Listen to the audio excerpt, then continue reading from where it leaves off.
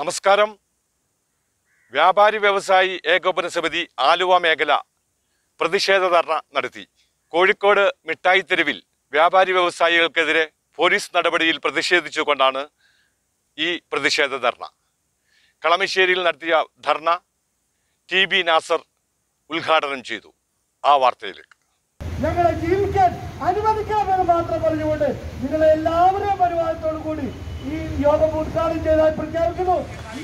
കേരളത്തിൽ കോവിഡിന്റെ രണ്ടാം വ്യാപനത്തിന് ശേഷം ഏകദേശം രണ്ടര മാസക്കാലമായിട്ട് കേരളത്തിലെ എഴുപതോളം എഴുപത് ശതമാനം വരുന്ന വ്യാപാര സ്ഥാപനങ്ങൾ പൂർണമായും അടഞ്ഞുകിടക്കുക ഒരു മുപ്പത് ശതമാനം വരുന്ന അവശ്യ സാധനങ്ങൾ വിൽക്കുന്ന വ്യാപാര സ്ഥാപനങ്ങൾ മാത്രമേ തുറന്നു പ്രവർത്തിക്കുന്നുള്ളൂ.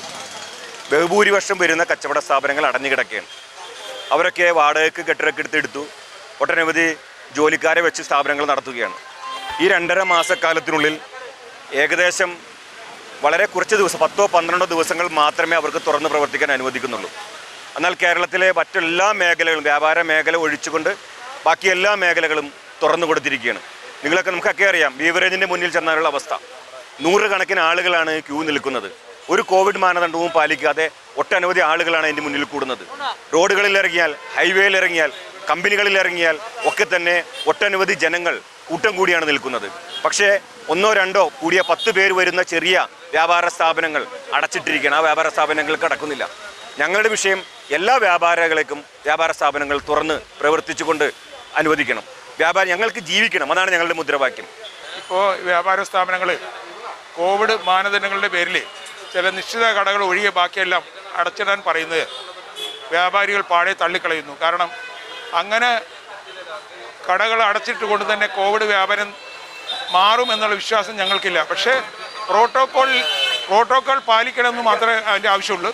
അപ്പോൾ പ്രോട്ടോക്കോൾ പാലിച്ചുകൊണ്ട് എല്ലാ വ്യാപാര സ്ഥാപനങ്ങളും തുറന്ന് പ്രവർത്തിക്കണം. അവരും മനുഷ്യരാണ്. വാടകയെല്ലാം കൊടുത്ത് ജോലിക്കാർക്കും അവരുടെ കുടുംബവും എല്ലാം പോറ്റേണ്ട ഒരു കടകൾ മൊത്തം അടക്കണമെന്നുള്ള ആ ഒരിത് ഞങ്ങൾ എതിർക്കുന്നു ശക്തി എതിർക്കുന്നു. സർക്കാർ ഇതിൽ നിന്ന് പിന്മാറണം എന്നുള്ളതാണ് ഞങ്ങളുടെ വിശ്വാസം. ഇല്ലെങ്കിൽ വ്യാപാരി വ്യവസായി ഏകോപന സമിതി മുൻകാലങ്ങളിൽ ചെയ്ത ശക്തമായ സമരങ്ങൾ നടത്തും എന്ന് ഇതിനെ അറിയിക്കുന്നു. അവിടെ രണ്ട് രണ്ട് രണ്ടര മാസമായിട്ട് കേരളത്തിലെ വ്യാപാരശാലകൾ മുഴുവൻ അടഞ്ഞെടുക്കുകയാണ്.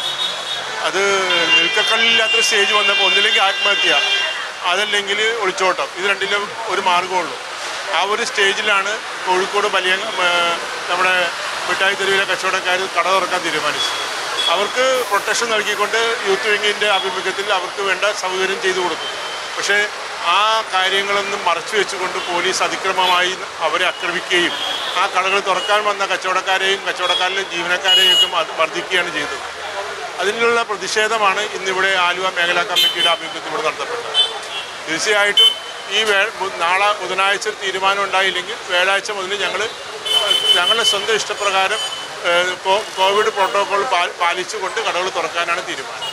കൂടുതൽ വാർത്തകളും വിശേഷങ്ങളുമായി ലൈഫ് കൊച്ചിയിലൂടെ വീണ്ടും കാണാം. അതുവരെ നമസ്കാരം. ലൈഫ് കൊച്ചിക്ക് വേണ്ടി കളമശ്ശേരിയിൽ നിന്നും ജലീൽ മുട്ടാർ.